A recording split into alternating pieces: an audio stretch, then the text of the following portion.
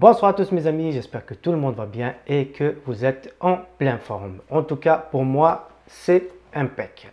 Aujourd'hui, dans cette vidéo, mes amis, j'aimerais partager avec vous une expérience que j'ai pu euh, réaliser et tester et j'ai remarqué vraiment un grand changement au niveau de mon PC. C'est-à-dire, auparavant, malgré que j'ai 16 Go de RAM installé sur mon PC, mais quand j'utilise ou bien quand j'ouvre plusieurs applications en même temps, j'ai constaté qu'il y a pas mal euh, un petit ralentissement euh, des bugs au niveau de mon PC. Donc j'ai pu avoir une astuce après quelques recherches. Vous pouvez désormais améliorer les performances de votre PC afin que vous puissiez gérer plusieurs applications en même temps. Et cela va se dérouler aujourd'hui, mes amis, dans cette vidéo.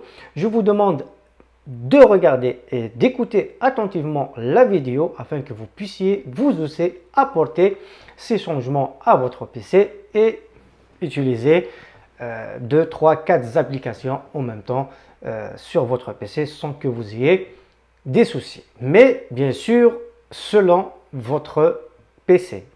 Parce qu'il y a des PC qui ont 4 Go de RAM, il y a des PC qui ont 8 euh, Go de RAM, 16 Go de RAM, etc. Donc, il faut bien suivre les étapes. On va vous essayer de vous expliquer comme il faut qu'est-ce que vous devriez faire. Dans mon cas, moi, je vais utiliser mon PC qui a 16 Go de RAM. Je vais vous expliquer tout ça. Je vais vous montrer tout ça juste après cette courte pub.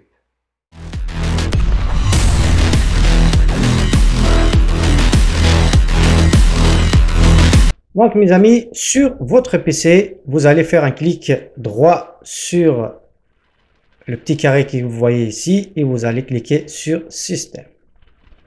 Donc comme vous le voyez, mémoire vive, moi j'ai actuellement 16 Go. Donc ce qui est pas mal. Ensuite, ce que vous allez faire, c'est que vous allez dans Système. Ensuite, vous allez dans Stockage. Et une fois que vous êtes rendu sur cette euh, interface, donc cette page, donc comme vous le voyez, disque local CG 467 76 gigaoctets. Vous allez afficher plus de catégories. Vous cliquez ici. Ensuite, vous allez cliquer sur système et espace réservé.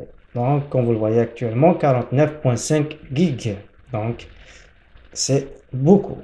Donc, regardez, mémoire virtuelle, j'ai uniquement 8.51 Go. C'est quoi le rôle de la mémoire virtuelle? Cela permet à votre PC d'utiliser plusieurs applis en même temps. Donc, si vous utilisez beaucoup d'applications et que votre mémoire virtuelle n'est pas assez, vous allez avoir des problèmes au niveau de votre PC, c'est-à-dire il y aura des bugs, peut-être des applications qui vont cracher. Donc, le mieux, c'est d'augmenter cette mémoire virtuelle. Et cela gratuitement euh, par Microsoft. Donc, ce que vous allez faire, donc, soit vous allez sur recherche ici et vous allez écrire View Advanced Setting System. Si vous ne le trouvez pas, par exemple, dans vos recherches, vous allez uniquement ouvrir l'invite de commande.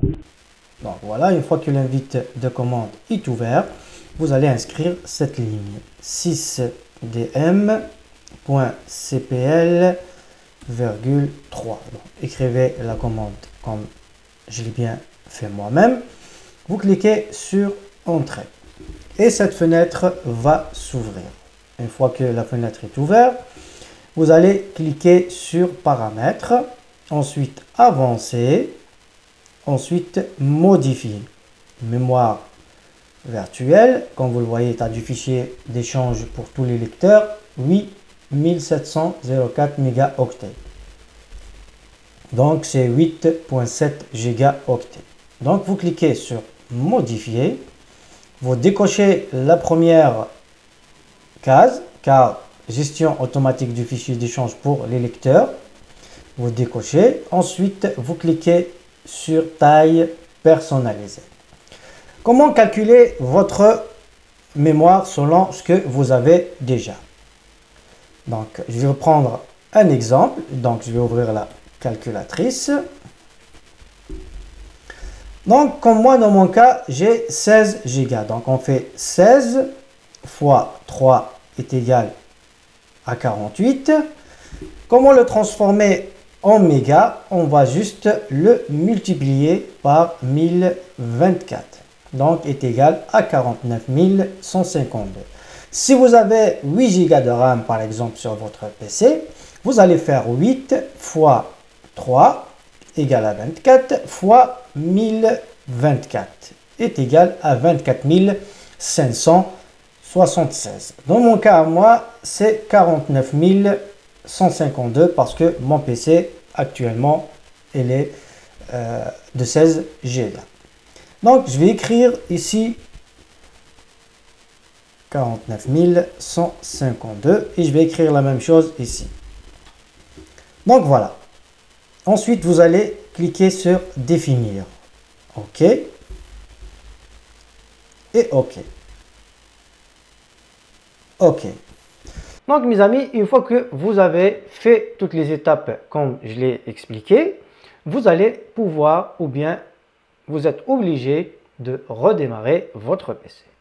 Une fois que vous avez redémarré votre PC, vous retournez et faire les mêmes étapes les premières étapes pour savoir combien de RAM on a sur notre PC et surtout pour la mémoire virtuelle. Et vous allez voir que votre mémoire virtuelle a beaucoup changé. Et par la suite, essayez d'ouvrir plusieurs programmes et de les utiliser ou bien de les manipuler. Et dites-nous si vous avez réellement euh, aperçu un changement au niveau des performances de votre PC. En tout cas, moi, j'ai fait le test. Avant, j'utilisais vraiment des logiciels très gourmands en mémoire.